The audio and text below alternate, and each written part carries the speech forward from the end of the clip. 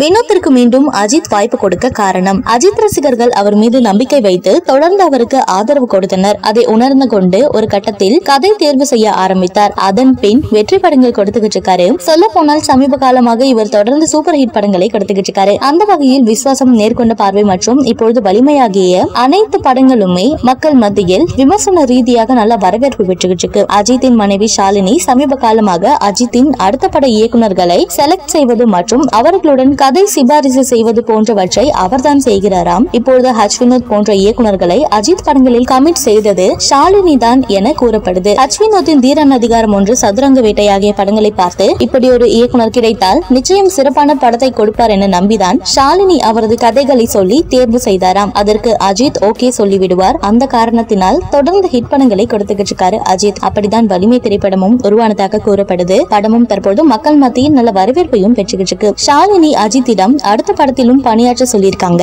உண்மையில் சொல்ல போனால் ஆரம்பம் பில்லா ஆகிய படங்களை அடுத்து அசத்திய விஷ்ணுவர்தன் தான் அஜித்தின் அறுபத்தி ஓராவது திரைப்படத்தை எடுக்க அதிக வாய்ப்புகள் இருந்ததாம். சொல்ல போனால் கதையெல்லாம் சொல்லி ஓகே எல்லாம் வாங்கிவிட்டாராம். திடீரென ஷாலினி அந்த வாய்ப்பை ஹச் மீண்டும் கொடுத்துள்ளதால் வேறு வழி இல்லாமல் மௌனமாக இருக்காராம். ஆனால் அஜித்தின் அறுபத்தி இரண்டாவது படத்தை இயக்க அவருக்கு வாய்ப்பு அதிகமாக இருப்பதாகவும் கூறப்படுது.